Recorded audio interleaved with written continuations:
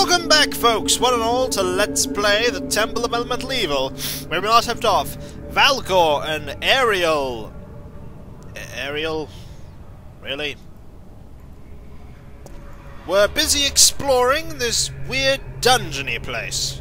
Let's go forward. Oh, look. You see another well and ladder leading even deeper into the earth. The air coming from the well is heavy with moisture and the smell of rotting flesh. Bit of a clue there. We're probably going to meet some zombies or something. Just as you step off a ladder, you see something in the next room. Even through the dim torchlight, you can make out three creatures with muscle and bone protruding from rotting holes in their skin. They are tearing furiously at a corpse in front of them. You have to wait for a creature in order to combat to begin. Hmm.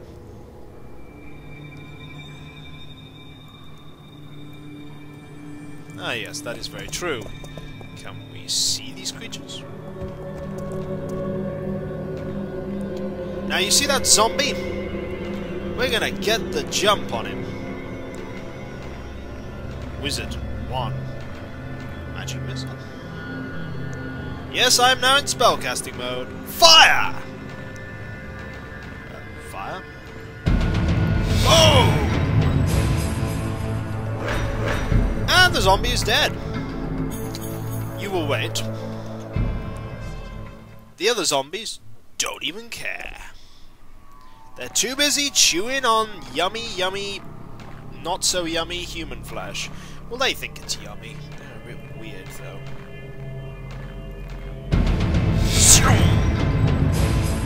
Magic missile, magic missile, magic missile, magic missile. Yep, and what do you know? The zombies, well, didn't notice.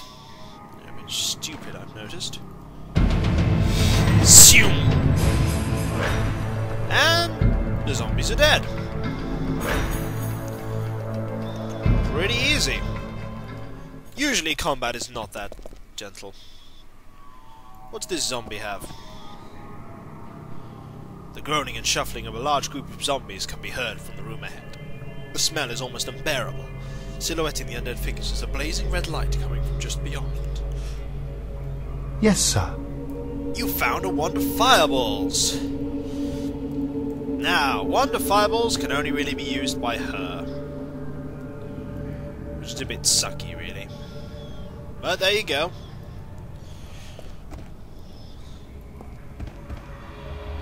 There are a lot of zombies in this next room. Trust me when I say lot of zombies, not a good thing.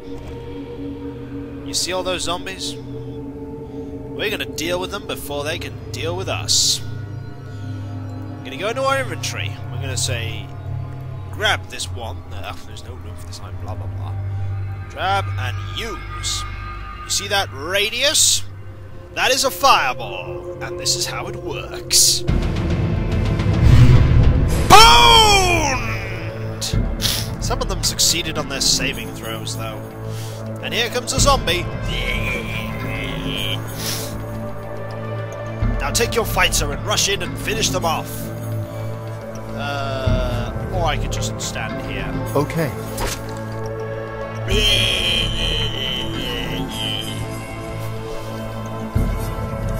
Poke them! That did not work. At once. Oh no, she might die. This is terrible. Trust me, it's As you wish. Ha! Ha! Now we can move quite far. Okay.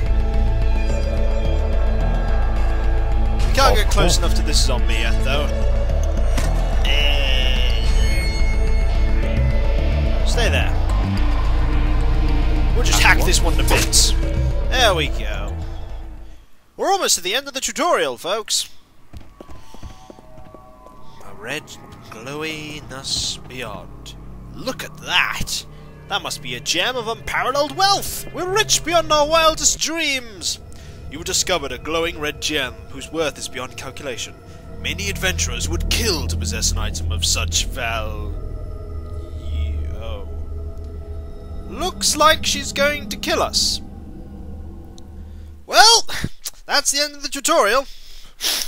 We'll never see that man again, or that woman. They are both dead to us. Now, we want a new game. We want a normal game. Choose your party's alignment. Alignment is important in this game. There are th nine alignments, ranging from lawful, neutral, and chaotic, and good, neutral, and evil. If you select an alignment, you can only pick for alignments in your party, that alignment, and all alignments within one step on straight lines. This is so that you don't end up with teams that have lawful good paladins and chaotic evil baby-eating warlocks. Trust me, you don't want baby eaters in a paladin party. My alignment for my group is going to be neutral good, which allows me to have true neutral, lawful good, chaotic neutral, and neutral good you should accept. Now I've hidden the pre-generated characters, which are mostly characters that are in the version 3.5 and 3.0 books. We have Alexis, Barry, Harriet, and Timothy. Barry Coleman will be our fighter, for now. Harriet will be our wizard, but I'm planning on restatting her up. Timothy will be our rogue, for now. And Alexis is our druid. What we're going to do first is we're going to create our final party member. Rolling stats is it's gonna take a while. Let me let me tell you that. You've got 40 you get 4 d6s, you roll them, and you take the lowest number away, and that's the stat. You get numbers between 3 and 18. You get 6 of these, and in this game you get unlimited rerolls. And let me tell you, I'm going to reroll until I get something suitable enough for this character. This could take a while. But once I've actually done this, trust me, it won't take very long for us to actually make this character up. Hmm. That's decent. Not decent enough, though. I'm, I'm very picky. At least another 17. Especially for this character that I'm creating. Needs to be really good. Come on.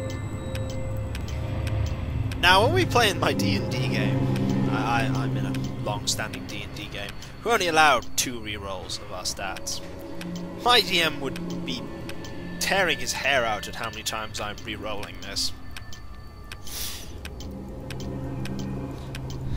We're going to be making a paladin. Because we all like paladins.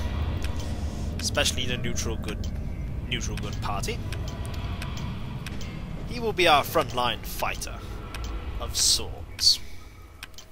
You will see when the party slowly evolves what plans I have for it. Come on! What I might do is I might, um, off-screen rolling the rest of the stuff. Not really that awesome. Might re off-screen re-rolling the stats for rest of the character. I just missed a really good set of stats there, I think. I probably did. That's how it goes. Usually I miss them.